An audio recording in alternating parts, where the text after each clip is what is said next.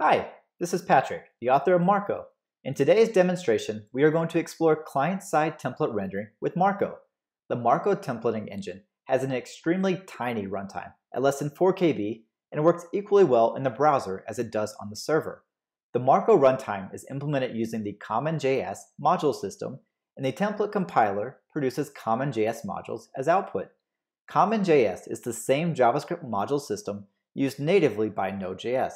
To utilize Marko in the browser, you will need a JavaScript module bundler such as Browserify or Lasso. For this demonstration, we will be using Lasso. Lasso is both a JavaScript module bundler and an asset pipeline that can handle CSS, images, fonts, and any type of front-end asset. Lasso also supports advanced features such as code splitting, minification, URL fingerprinting, and lazy loading. We won't spend too much time on the details of Lasso, but you will see how easy it is to use Lasso to generate client-side bundles for your web application. We are going to continue where we left off in the previous episode, so let's get started. Before we begin coding, let's first quickly summarize what we have done in the previous episodes. We have installed Express and created a server that is listing on port 8080. Our server has a single route. Our page controllers are in the Pages directory, we are using Marko to render directly to the writable response stream. You can find the source code associated with this screencast and other screencasts on GitHub using the URL shown here. Let's start coding. Let's start by writing our client-side code. Let's create a client.js file in our main pages directory. This will serve as the main entry for our client-side application. This file will be a standard Node.js JavaScript module that is capable of importing other modules. For now, we will hold off on trying to utilize Marko to render a template. Instead, let's just add some test code. The first thing we're going to do is import another module into this module.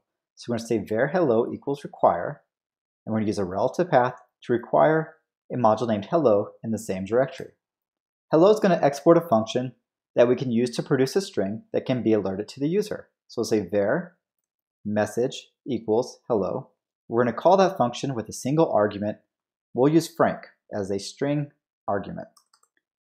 And then finally, we'll alert that message to the user.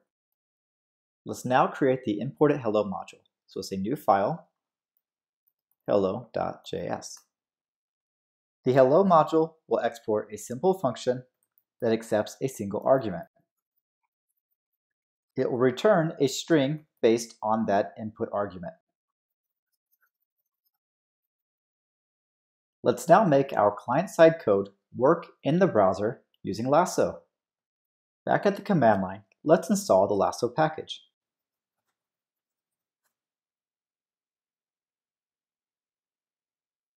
Lasso also provides Express middleware for serving up the static assets that it generates. Let's register that middleware in our server.js file.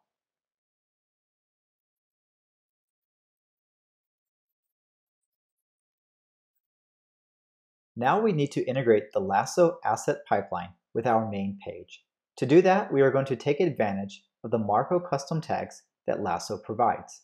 By including a few custom tags in our page template, we can have Lasso generate the JavaScript and CSS bundles for our page and also have it inject the required HTML markup to include those generated files. Let's try it out. Back in our main page template, let's add the custom tags required by Lasso. The first tag that we will add to our page is the lasso page tag. This tag will be used to invoke lasso. When this tag first renders, Lasso will generate the required JavaScript and CSS bundles for our page. Internally, Lasso will walk a dependency graph to figure out exactly what to include on the page, and it will include everything in the proper order. The Lasso page tag requires the package path attribute. The value of this attribute should be the path to a browser.json file that declares the top-level client-side dependencies for our page. Before we create the browser.json file, let's first add two more custom tags needed by Lasso. Let's add the Lasso head tag to the end of our head section. This tag will be used to inject the style tags that will be used to include any CSS bundles that are generated by Lasso. For now, we are not going to have any CSS, but that's okay. Let's now add the lasso body tag. This tag should be placed at the end of the body section. This tag will be used to inject the script tags needed to include any JavaScript bundles that are generated by Lasso. And finally, let's create the browser.json file that is needed by Lasso. So say new file, browser.json. Our browser.json file should have a single dependencies property. This is going to be an array of all of the top level client-side dependencies for our page. The first dependency is going to be the main entry point for our client-side application. So we're going to say require run, followed by the relative path to our main client module. Adding the require run dependency will result in the client.js module being included as part of our application's JavaScript bundle, as well as all of its dependencies. In addition, the module will then be executed in the browser as soon as the code is ready. Lasso uses static code analysis to figure out all of the required JavaScript modules. With those changes in place, let's try it out. Back at the command line, let's now start our server.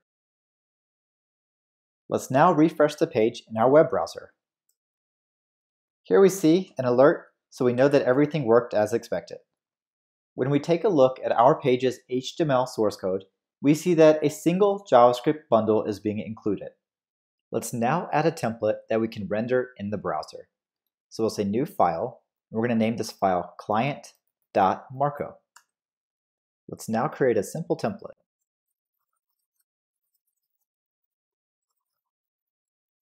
Let's now go back to our client.js file.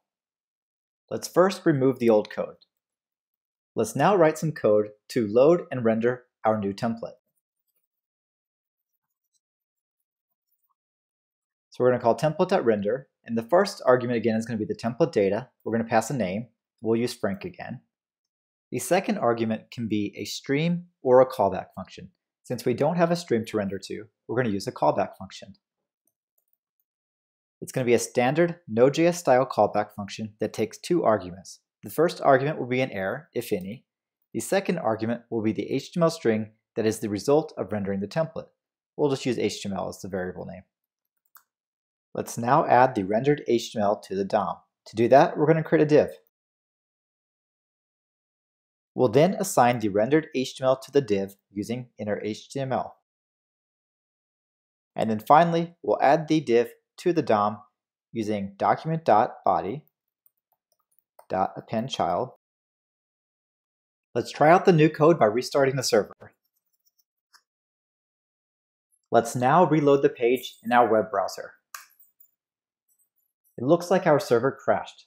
Let's check the logs to see what went wrong.